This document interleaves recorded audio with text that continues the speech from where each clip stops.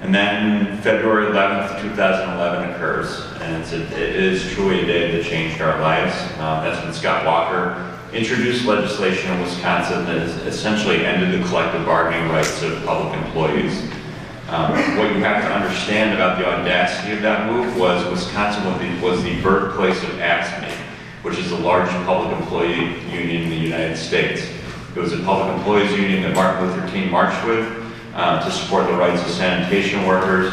So to come into Wisconsin and, and strike at the heart of public sector organized labor was, was a pretty bold and aggressive move on their part. Uh, I've been a police officer for 15 years.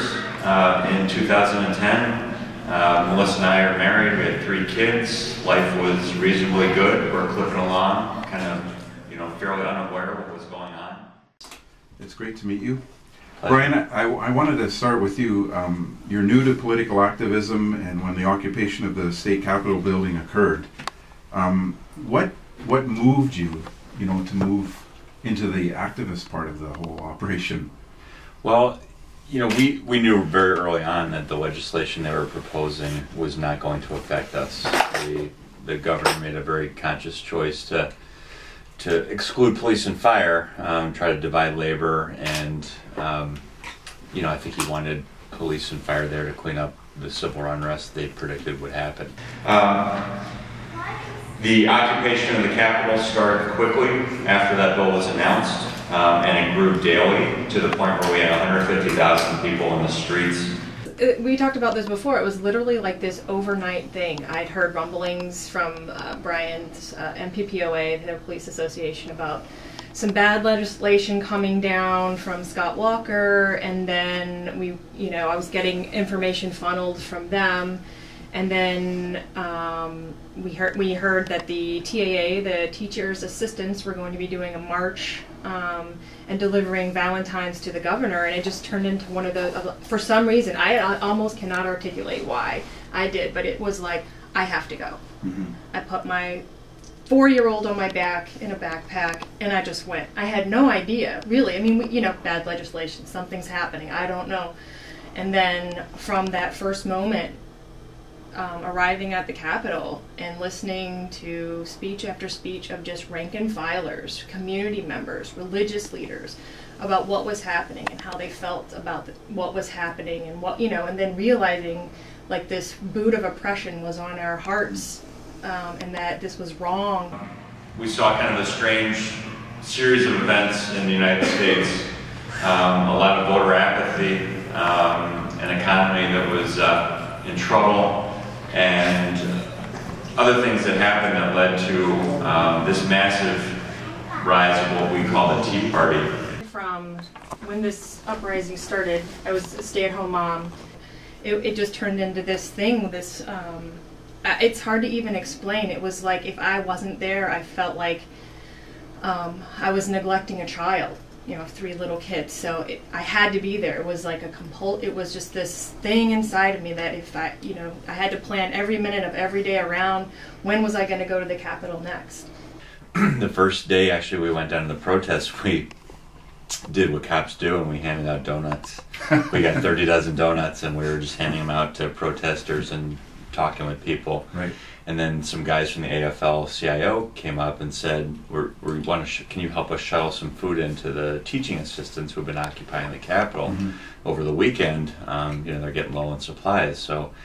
we grab these trays of food and pallets of water and we start walking in the Capitol. You know, we have some cops for labor signs, and I don't think we had our shirts made up yet by then. Um, but we come into the rotunda of the Capitol, which is jam packed with people at the time, and the people saw us and they just the place erupted. Mm-hmm. I mean that the cops were there mm-hmm. in support of, of the people protesting. yeah, off duty cops. It was really it, it, was a very you know really emotional moment, and we look around and people are just crying and, mm-hmm. and clapping and all that. How would you describe who you saw there when when when you went to the Capitol?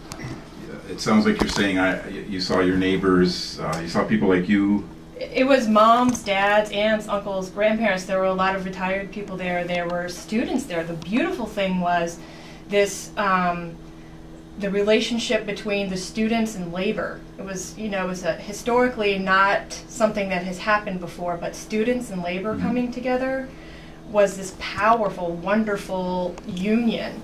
And then, yeah, it was just you look around and it was, it was interesting, like in the rotunda, because there were these outside voices talking about what was happening there. You know, the Fox News, the pundits.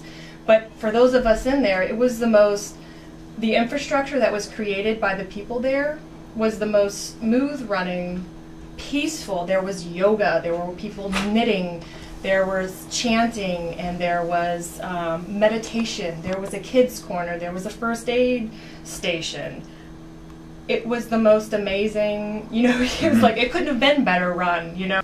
I'll get you both to, to jump in. Um, what kind of what kind of relationships, if any, built out of this? As you know, it's it's it's come and gone. Um, what, what what could you describe the, of relationships, perhaps with within unions and other unions, and then with, with community groups or social groups from from your end, Melissa? How, what's growing out of this?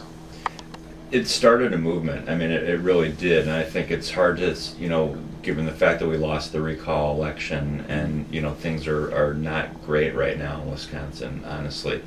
But I think some of the results aren't tangible yet. We- We've built this really solid movement. There's a an entire cadre of citizen journalists that have popped up to do what the mainstream media isn't doing, which is telling the truth about what's going on in Wisconsin and this country. Um, we have my union has reached out to many other unions, other public employee unions, private sector unions. I mean, a few of us from the Cops for Labor group went and walked a picket line in the middle of January with striking machinists because um, their company was doing the same thing that Scott Walker did to us and did to other unions, and we went up. And that's unprecedented for a police union to go walk a picket line, you know, with with, with a, a private sector union. I mean, this is how the conversation is changing, um, and I think it's just made people more aware of the fact that they have a duty to get involved. That if you sit on the sidelines, this is what happens.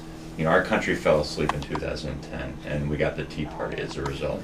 People became disengaged, and they stayed home from the polls, and they figured, eh, you know, I'm not so interested right now. And and this is what happens. You know, the corporate interests seized on that opportunity, and and they installed, uh, you know, all hell in our country for a couple of years.